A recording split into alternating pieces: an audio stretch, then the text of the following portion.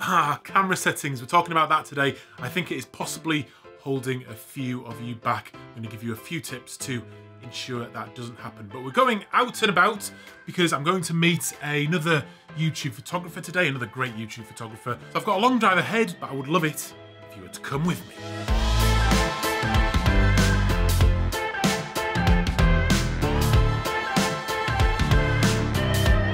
Right, we've arrived and the person I am collaborating with today is just over the road there. We'll introduce him in a minute. Wow, what happened with the sound there? Well, so after the video last week where I discussed doing a panorama either with the tripod or without, I got a little bit hammered in the comments. Now, that happens from time to time. That's not what I am upset about. But what they were saying is that with the tripod panorama, I wasn't considering exact technical points like nodal points and parallax. And the point was I was trying to show that panoramas can be done in a number of easy ways without any extra gear, and I think most of you did appreciate that. It got me thinking that just with these techniques and camera settings, by worrying too much about the camera settings, it's just destroying people's creativity and I see that happening quite a lot. So what I want to do is just take you through the full process, more than I do normally, to show you what my process from arriving at a location to actually shooting the shot. Just to show you at what point I actually start thinking about the camera settings, why I'm choosing those camera settings, and hopefully that will provide some value so you can just avoid being sucked into worrying so much about the camera settings if that's something that's happening to you. So before we do that, let's go and just have a quick chat and say hello to Paul G. Johnson. And here we are, one of my very favourite YouTube landscape photographers is Paul G. Johnson. Hello. How are you doing, Paul? I'm fine, how are you? Yeah, good, thanks. It's a bit strange being on somebody else's video. Where are we at the moment? Top of Kirkstone Pass. Kirkstone Pass. We've driven up here in uh, Paul's camper van, which was pretty exciting for me. We've got this, if we spin around this way a little bit, this stunning scene, which we are just about we are just about to photograph. What's the plan for the rest of the day, Paul? We're going to go down to Ullswater, I think, aren't we? Yeah, I think so. For sunset. Whether or not we get a sunset, we'll see. But hopefully, we'll get something nice. Just depends what the clouds are going to do. Okay, so this scene is what I'm looking to shoot. And the first thing I do when I arrive at a location is first just have a bit of a walk around long before I get my camera out. That's when I first start thinking about composition. And you might hear people like me and others talking about working composition. All I mean when I say that kind of thing is essentially exploring in the area and adjusting perspective. So for example, perspective wise, at the moment when I'm stood a bit higher up here, you can see the bit of path there and you can see the road and it just doesn't work. So just by moving down a tiny little bit into this pool here or towards the edge of this pool and then we turn around again, see how that perspective changes? It's just completely different and I, the camera's probably gone just down about a metre. We now can't see the road. You can see much more of the pools in the foreground here and I'm just getting much closer to what my final image will be. So I'm still not getting the camera out. I'm still not setting the tripod up. Some people, and it's not, there's nothing wrong with it, will get the camera out and start looking through the camera. I don't do that, but I will start looking at things I'm going to include in my picture. Things like what the light's looking like, what are the interesting parts of the scene in front of me because they're things I'm focusing on in order to come up with my composition. Now, focal length will then be the next thing. You might be able to think about different focal lengths in your mind. If not, put the lens on the camera and look through the camera. I'm going to go for a relatively wide angle shot on this one uh, and I'm going to get down a little bit lower. So let's just get down low and you can see less and less of the wall and more and more of the pool there. And that's what I'm going for. Still not thought about camera settings yet. It's all been about composition, perspective, interest, light so far. But at this point, I'm going to set up my camera on the tripod. Right, we're set, let's go. So for the composition, I am just using the pools in the foreground. I'm, I'm, at about 21, 22 millimeters. I've got the big rock on the right hand side here. I do have a little bit of the wall in the image, which I don't particularly like. I might use a square crop. The stream then leads you down the valley a bit to the lake and the mountains and the sky in the background of the image. So it's a nicely composed image, but still not thought about camera settings at this point. It's very straightforward with camera settings really. The reason you are choosing certain camera settings are based on other creative aspects in your shot. So, for example, what is my depth of field going to be? Do I have a shallow depth of field, a big depth of field? It's generally the case that you have a big depth of field in landscape photography, but how close is the foreground interest to your lens compared to the background? In this image, the rocks and the pool are very close to the camera, as you can see there. The background is very far away, so I need to up that aperture number to bring the aperture down smaller so I get more of that scene in sharp focus. So I'm at f16 for that reason. Shutter speed, it's about movement in the scene generally. And at the moment, the clouds are moving and the water in the stream is moving. So do I want those moving in my image or do I want them to be frozen? That's up to you, it's a creative thing, but if you want to freeze the image, then you need a faster shutter speed. If you want to have some movement, you need to lengthen that shutter speed out. In bright conditions like that, you might need some ND as well. It's then just a case of balancing out that exposure, because we're talking about the exposure triangle, which is a lesson for another day. You can download my ebook if you want to find more out about that, but then just use the ISO to balance out that exposure, use the meter on your camera as well and just take a shot to practice as well and see what the exposure, actually looks like on the screen because we're digital now and you can do that at no cost. So for this shot, I'm at f16, like I said, shutter speed is one eighth of a second and then I'm at ISO 100 and I wanna keep that noise as low as possible. The final thing to think about is filters. Do you need a filter on? I do have a filter on in this shot. It's the uh, circular polarizer on the front there. And the reason I've got that is because I just want to take a tiny bit of the sheen off the water. Not all of it, because when you take all of it off, you just see through it and you can't even see there's some water there.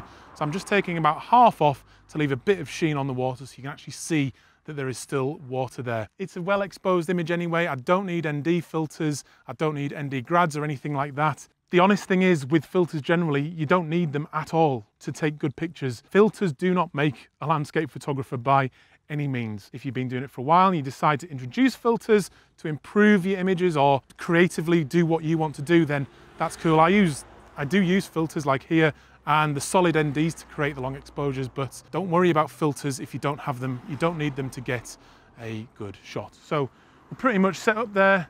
Uh, I'm on the two second timer just to remove all movement out of the camera that might be introduced by me pressing the shutter button. So let's fire that off now. Two second timer. I've lost the light a little bit. It should hopefully come back, uh, but that's gonna be a nice shot regardless.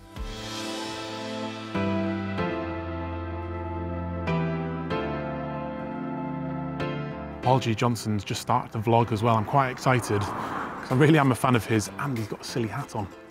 Can you see?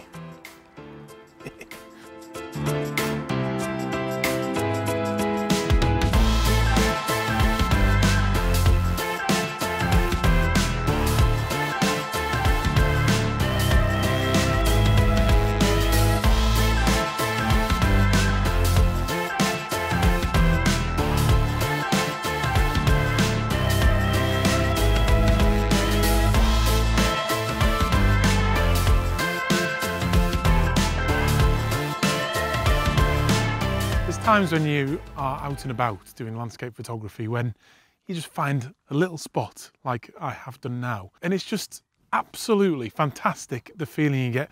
And if I spin around, you will see why. Just look at that scene. We're down at Brothers Water and Paul is just along the beach a little bit there doing a bit of filming and getting his own picture. But I'm just taking a minute on this beach just to enjoy it because it's absolutely beautiful. It's still, calm, not much wind. And these lilies on the lake here are just fantastic. I think what I'm going to do is treat myself to a bag of crisps and then consider setting the camera up on the tripod. There's a nice little shot just behind you here that I think is going to work well close in.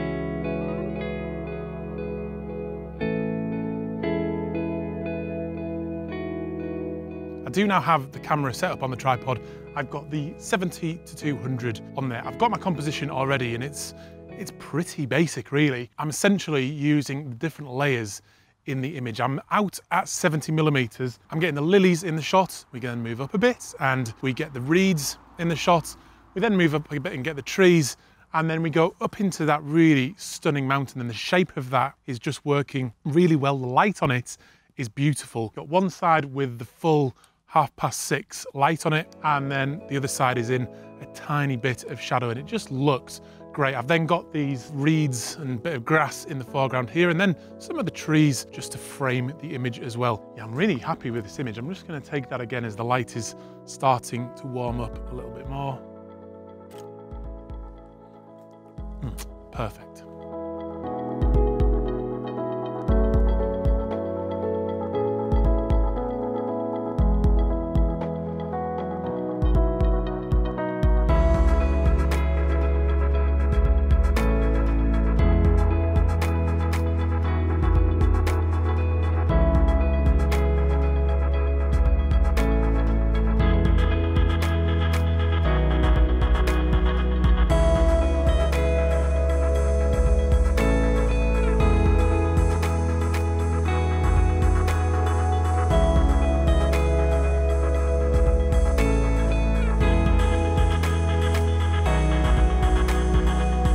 Down at Ullswater now for the end of the day. I think it's just a case of case of waiting for the light now, isn't it? Yeah, yeah. Keeping the fingers crossed that the light plays ball. What do you reckon? Uh, I'll say no, and then it'll definitely light up. If I said yeah, it won't. The clouds are looking Looking pretty promising, aren't positive. Yeah, they are. Yeah. They are. yeah. Not a bad place to wait for sunset, Yeah, though, is it? absolutely not. Great place, great company. You can't ask for any more, can you?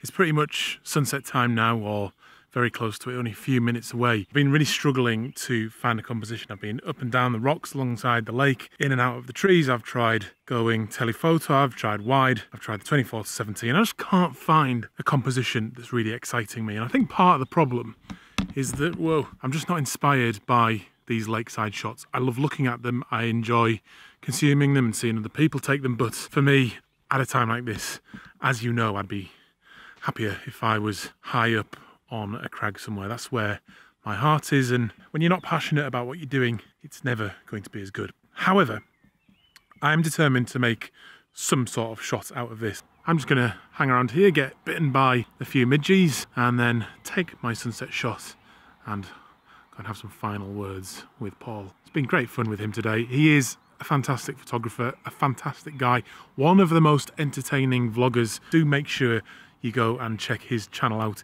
It's entertaining, he wears ridiculous hats, and he's just a fun guy, and it's a fun channel. He's been away for a bit, but he is coming back strong.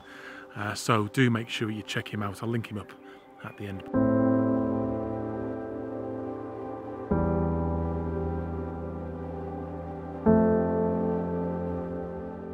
It really wasn't working for me up there, so I've come back down to the lakeside with Paul. I'm just capturing a last little time lapse of this truly stunning scene up here. Just beautiful. And I've thought of a really fitting way to capture this scene, and that is with a couple of handheld panoramas.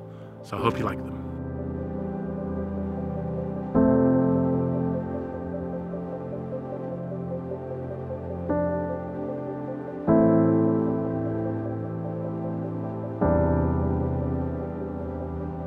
Beautiful light at the end there, beautiful pinks in the sky. I hope I managed to at least make something of it. I really hope this has been helpful to you though.